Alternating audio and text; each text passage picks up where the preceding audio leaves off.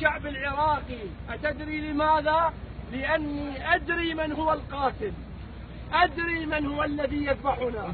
أدري من الذي يفجرنا. أدري من الذي يسحقنا. ولذلك هذه المجزرة هي التي دعتني أن أبدأ الحرب من جديد.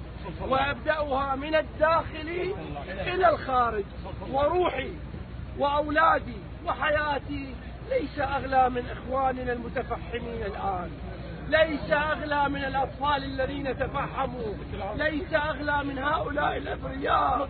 حينما يقول الإمام السيستاني حينما يعلن أن السنة أنفسنا بأن السنة أنفسنا نحن نقول بأن العراقيين جميعا أنفسنا.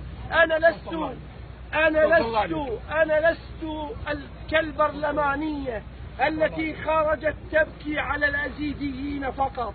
أنا أبكي على الأزيدي وعلى الصابئي على الشيعي وعلى السني. أبكي على العراقيين جميعا.